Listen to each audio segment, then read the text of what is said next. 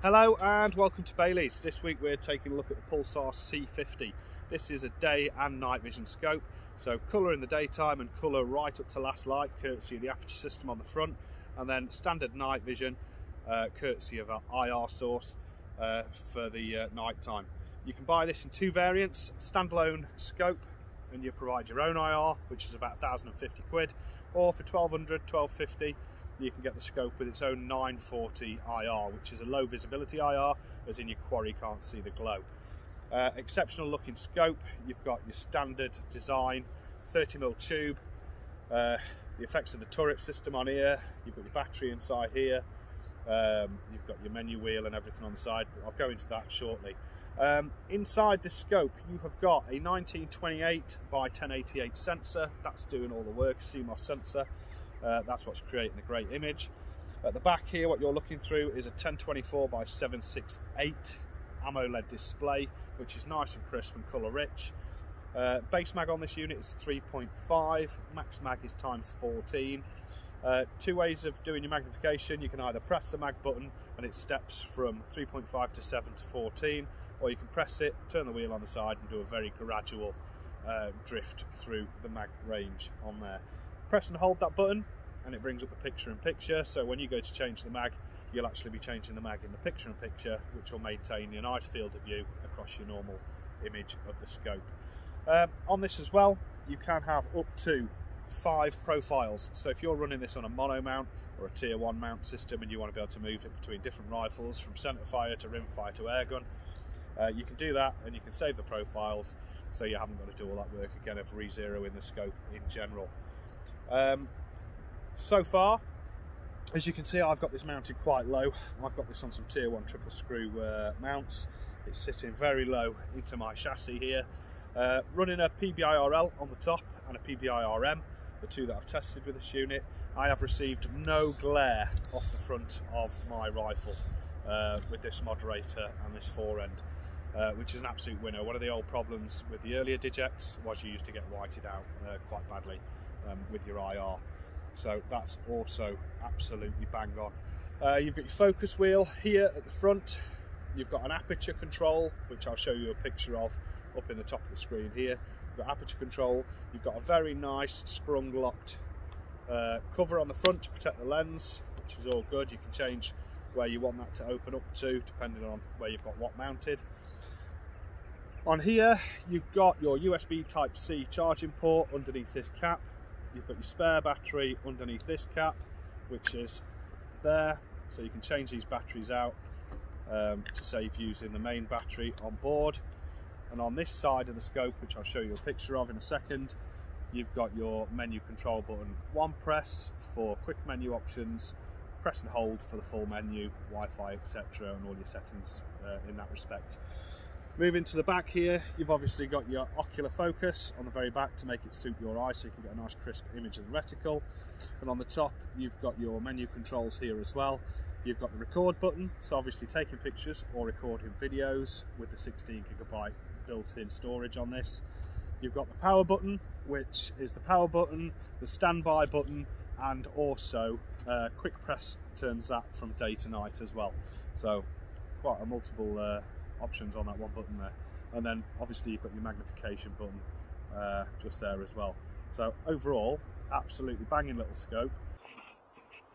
So this is what you can see through the scope. As you can see at the top there, you've got the picture in picture. Uh, the reticle is nice and fine. You've got all the information at the bottom of the scope there to tell you what zero you're on, uh, what mode you're in, your magnification, whether Wi-Fi is on, whether auto off is turned on or off, for time and both battery statuses.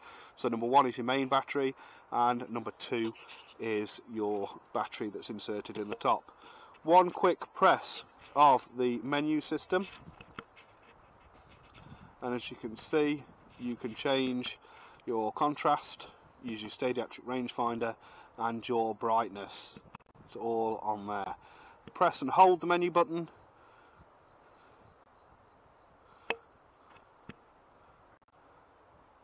and your full menu comes up. So your first option there is your reticle and zero in. Press on there, you've got your zero in profile. you've got your reticle choice, and I mean there is a lot of reticles to choose from. You can have absolutely all sorts. I like M M58i because it's like a mil dot reticle. Uh, you can also change the colour of that reticle. Uh, you can have white with red, white with green, red, green, so on and so forth, all the way through. Uh, and pick exactly what colour you want. You can also click on here and you've got your reticle brightness. So obviously my reticle's on maximum brightness and you can turn it down depending on the environment you're in. And then you've got your zero in and add new distances. So press and hold to come off that. Scrolling down you've got your S mode which is your sunlight mode uh, which you can turn on with no IR when you're in black and white mode. You've got your icon brightness which is the brightness of the display. Wi-Fi activation, turning on the Wi-Fi. Your information for the Wi-Fi is in your passcode, etc. You can change it to suit you, whether or not your microphone is on. General settings such as your time, etc. Accelerometer to let you know whether or not your rifle is canting left and right, and then the general device information. So it's all there for you, all nice and simple to use. Sun is right in my eyes. Let me just see.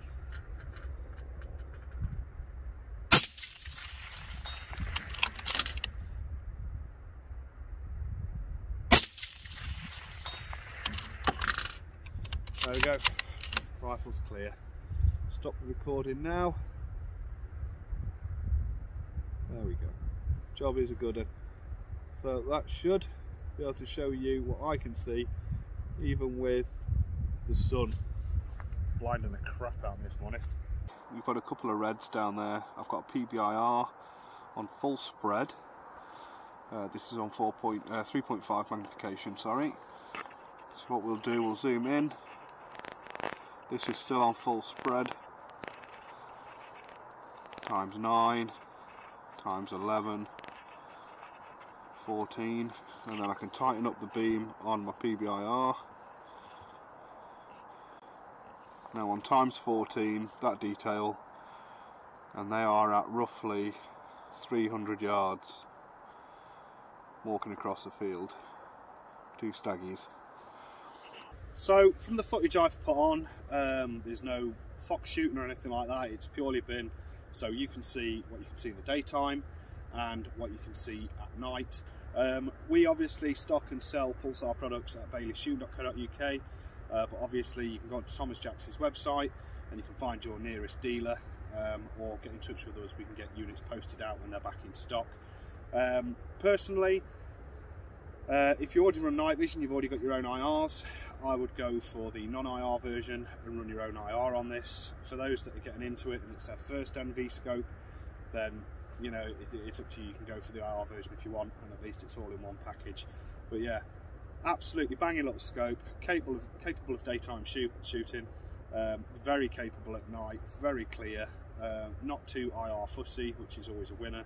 With everything I've tried it with, it's, it's done the job out to the distances you need for varminting or foxing. So I hope this video was uh, informative for you. Thank you very much for watching and please give us a thumbs up and subscribe to the channel. Cheers.